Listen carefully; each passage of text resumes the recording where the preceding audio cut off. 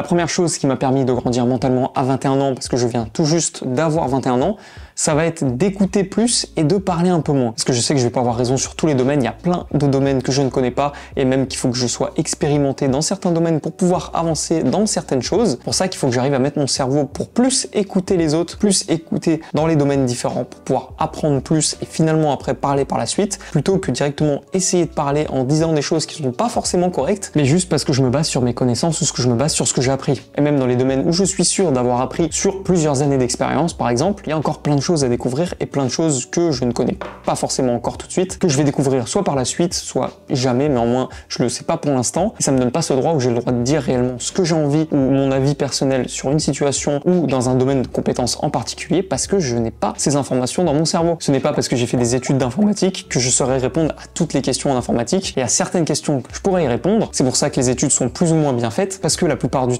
c'est les élèves qui écoutent et c'est le prof qui te dit qu'est-ce que tu dois faire parce que lui a plus d'années d'expérience, il a d'abord lui aussi écouté de son côté avant de pouvoir directement prendre la parole et directement le transmettre aux autres personnes. Et selon moi, j'ai plus appris et découvert de choses en écoutant d'abord, que ce soit euh, en me formant directement sur les réseaux sociaux, sur internet ou juste directement avec les études ou encore avec d'autres personnes que j'ai pu rencontrer dans ma vie, plutôt que d'essayer de débattre sur des sujets où je suis pas forcément très calé, juste parce que j'aurais regardé une vidéo de Thibaut Inchep sur la musculation que je sais forcément comment ça fonctionne. Ça va être en écoutant directement les autres personnes, en ayant plusieurs avis pour pouvoir finalement choisir quel avis je trouve le plus judicieux et même en observant parce que c'est en allant à la salle de sport en faisant un exercice en particulier que je vais savoir si moi il me correspond ou pas et si je vais pouvoir par la suite conseiller un ami ou une personne que je connais par rapport à cet exercice s'il est bien ou pas pour lui.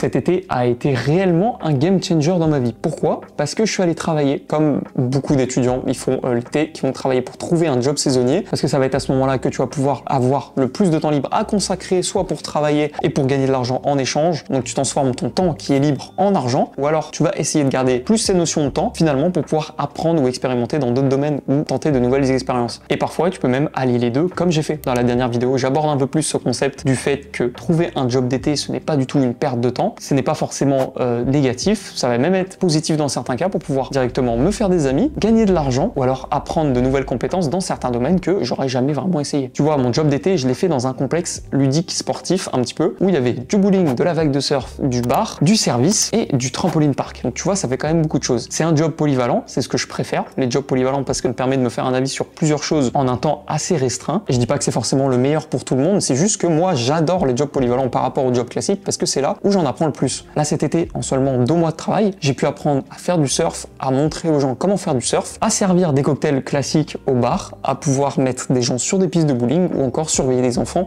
au trampoline park. J'ai fait tout ça en seulement deux mois. Et ça, c'est seulement la partie du travail. Parce qu'en tentant cette expérience de travailler dans un complexe comme ça, j'ai pu me faire de nouvelles connaissances en termes professionnels parce que je me fais un réseau ou en termes personnels juste parce que c'est des potes avec qui je pourrais sortir qui me permettront de me déconnecter de la partie sociale avec la partie professionnelle. Et aussi parce qu'en faisant tout ça, j'ai été payé pour le faire. J'ai appris plein de compétences et j'ai été payé pour. Mais pour savoir et pour réussir à faire ça, il faut tenter de nouvelles expériences. Ça va être le même rôle que l'effet papillon. Si tu ne tentes pas ça ou tu ne fais pas ça, et eh bah ben, tu vas prendre deux directions qui seront complètement opposées. D'ailleurs, si je reviens un petit peu sur mon été, un petit peu plus tôt, avant de commencer à travailler, il y a eu la partie de plaisir, la partie de détente, où je suis parti directement en Corse avec ma copine, et c'était la première fois que je devais prendre l'avion, c'était la première fois que je prenais de réelles vacances, et c'est-à-dire que avant mes 20 ans, je n'ai jamais pris l'avion. Et forcément, il y avait plein de facteurs négatifs que je pensais qui rentraient en jeu. Le fait de prendre l'avion, le fait de prendre l'avion, le fait de prendre l'avion et le fait de prendre l'avion.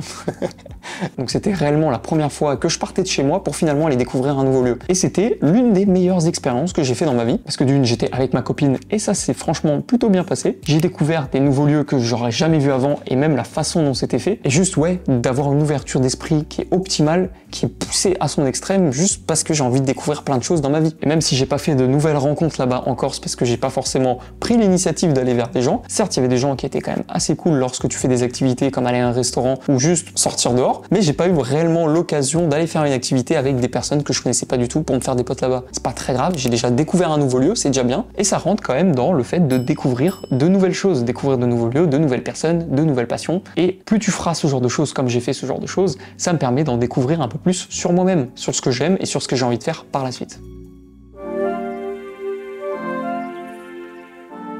Aussi, certes, j'ai que 21 ans, mais en soi, je suis quand même assez content de ce que j'ai fait dans l'inconfort. J'en suis sûr qu'il y a plein de personnes qui n'ont pas tenté encore ce que j'ai fait, qui vont le tenter soit par la suite, ou alors il y en a plein qui l'ont déjà fait, mais en soi, je me mets à un endroit où je sais qu'il y a déjà des personnes qui l'ont pas fait. Prendre des douches froides, comme j'ai fait, c'est pas forcément commun, c'est de l'inconfort, mais c'est quand même plutôt cool. Tout seul, s'autodiscipliner, aller à la salle de sport, faire une heure, une heure et demie de sport une fois tous les deux jours, tenter de lancer une chaîne YouTube ou un projet à part que j'avais en tête, mais en moins j'ai réussi à sortir de ma tête, pas comme la plupart des personnes qui ont des idées mais finalement qui les gardent en tête pour pas forcément les tenter. Et le fait d'expérimenter de l'inconfort, ça va me créer un confort plus grand. Les zones où je suis dans l'inconfort vont pouvoir se rajouter dans ma zone de confort. Et ce que j'aime bien lorsque j'ai tenté ces expériences, c'est qu'à la base, ça peut paraître un peu compliqué, ça peut paraître forcément pas très agréable de le faire, mais plus tu le fais, plus tu vois que c'est agréable et plus finalement tu as envie de continuer parce que tu sais qu'il y a plein de gens qui ne font pas ce que tu es en train de faire et aussi parce que tu es en train d'aimer le processus. Et c'est ça qui est trop kiffant en fait, c'est de pouvoir kiffer sur le processus et non sur la finalité. Lorsque j'ai commencé à prendre des douches froides au ce que j'attendais c'était la fin de ma douche. Parce que tout le long je ne profitais pas du tout du fait d'avoir de l'eau froide qui coulait sur moi parce que j'étais vraiment pas bien. Alors qu'en soit plus les temps passaient et plus je prenais des douches froides et plus je kiffais finalement le moment où j'étais dans la douche froide et sentir le froid qui était sur moi qui finalement me permettait de me contrôler plutôt que d'arrêter l'eau pour finalement retourner dans un monde où il faisait un petit peu chaud parce que forcément qu'il fait plus chaud à l'extérieur de ta douche que finalement quand tu prends une douche froide.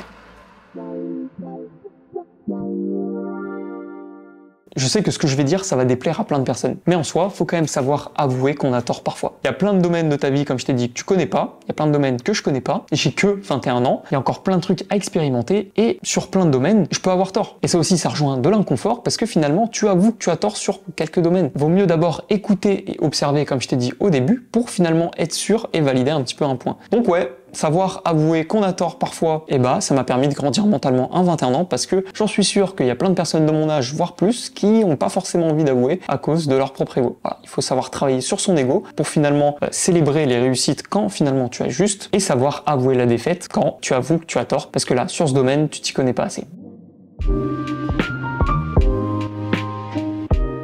Tu vois, tous les profs ou tous ces gens qui disent faut absolument saisir cette chance, c'est la seule, t'en auras pas d'autre dans ta vie, et bah en soi, c'est un peu vrai dans certains domaines.